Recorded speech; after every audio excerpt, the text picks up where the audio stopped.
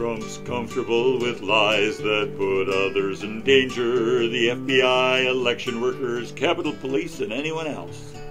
And yet his stupid followers see him as quite heroic. A guy who's not afraid to simply tell it like it is. But Donald's never done that in his whole pathetic life. And those who buy his BS threaten our democracy. That's the truth.